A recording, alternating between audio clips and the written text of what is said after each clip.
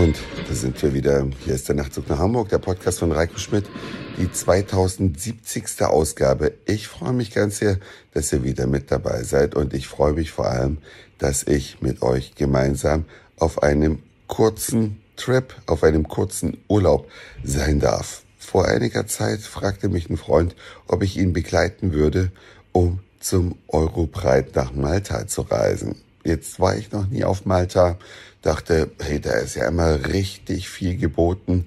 Lasst uns losdüsen und so ging es diese Woche dann über Frankfurt nach Malta. Ich weiß nicht, was ihr von Malta wisst, aber ich kannte Malta bisher wirklich nur vom Eurovision Song Contest und jetzt bin ich hier und kann euch sagen, die Malteser die schauen auf eine sehr, sehr lange Geschichte zurück.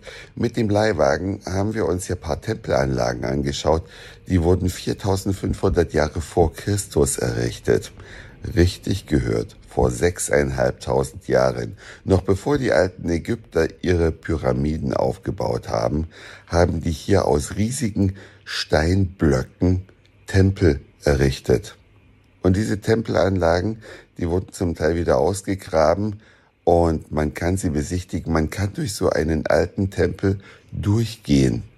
Es ist ein sehr erhabenes Gefühl und erstaunlich, was die Menschen vor sechseinhalbtausend Jahren hier schon gebracht und geleistet haben. Und keiner weiß so genau, warum diese Tempelkultur untergegangen ist, welches Ereignis das beendet hat. Es gibt viele Spekulationen, eine längere Dürreperiode, aber vielleicht hatten die auch Covid oder sowas ähnliches. Auf jeden Fall war es eine Hochkultur vor sechseinhalbtausend Jahren. Und das so nah dran. Malta ist ja in zweieinhalb Stunden mit dem Flieger zu erreichen von Deutschland aus.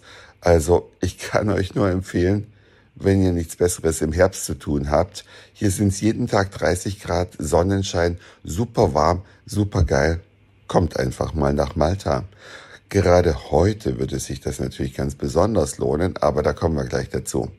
Malta hatte im Laufe der Geschichte viele Herrscher, Besitzer, die Osmanen waren hier, die Briten waren es ganz zum Schluss hier, die Ritter, ach Gottchen. Ich will hier euch keinen Geschichtsunterricht bieten, aber sagen, die unfassbar schöne Hauptstadt Valletta, die hat natürlich ihre lange, lange Geschichte, alles aus Sandstein, farbigen Steinblöcken. Es ist, wirkt wie aus einem Guss und die gesamte Insel ist einfach nur wunderschön. Und das Allerbeste, moderate Preise. Hier bekommt man noch für 15 Euro ein Mittagessen mit Weinglas. Und kein schlechtes, ein richtig gutes Mittagessen. Hier kriegst du abends noch einen Drink für 6 Euro, ein großes Bier für 3 also paradiesische Preise im Vergleich zu Deutschland, wo ja mittlerweile heftig zugelangt wird. Und mit dem Leihwagen ist man schnell über die Insel gefahren. Es gibt so sieben, acht Tempelanlagen, die man gesehen haben sollte und alte Befestigungen, Ritterburgen und dergleichen. So ein Leihwagen kostet um die 30 Euro am Tag. In Malta kann man überall kostenlos parken. Ein dickes Beispiel für Deutschland an sämtlichen Attraktionen stellst du dein Auto einfach hin und besichtigst die.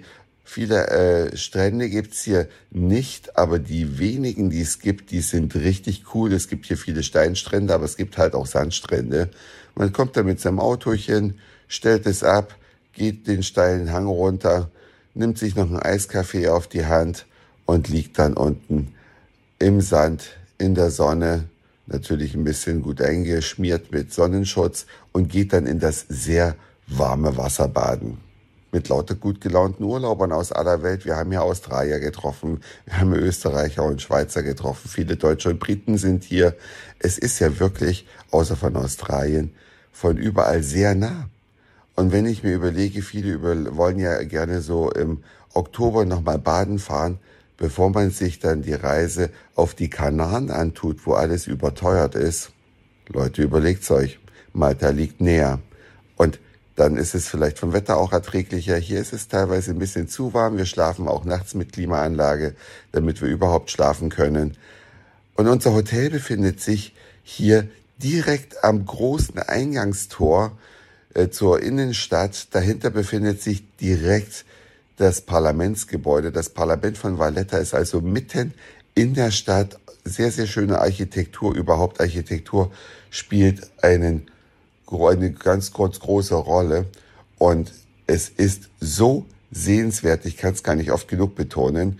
Und hier ist auch das äh, Eurobreit-Gelände zufälligerweise direkt vor unserem Hotel. Wir schauen also vom Hotel aus zum großen Stadttor über das Eurobreit-Gelände hinweg. Und da steht schon die dicke, fette Bühne für Christina Aguilera heute Abend. Gestern an der etwas kleineren Bühne, die dennoch sehr äh, bombastisch schon war und die befand sich direkt äh, vor dem Stadttor haben wir Conchita Wurst erlebt und The Roop und, oh Gott, hier, das waren sehr, sehr viele, auch sehr bekannte Künstler dabei.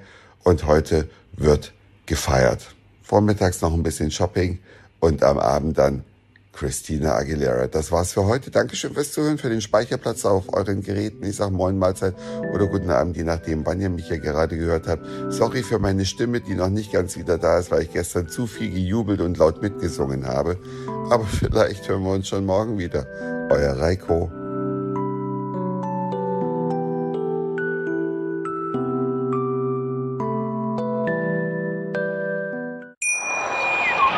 Ich habe mich natürlich schockverliebt, weil die war wirklich ganz, ganz klein. So begann die Mensch-Hund-Beziehung zwischen Christina und Tierschutzhund Frieda. Und wie es danach, nach dem ersten Moment der Verliebtheit, so weiterging und welche Klippen es danach zu umschiffen galt, das hört ihr in der neuen Ausgabe von Iswas Dog, dem Podcast für harmonische Mensch-Hund-Beziehungen. Iswas Dog? Mit Malte Asmus. Überall, wo es Podcasts gibt.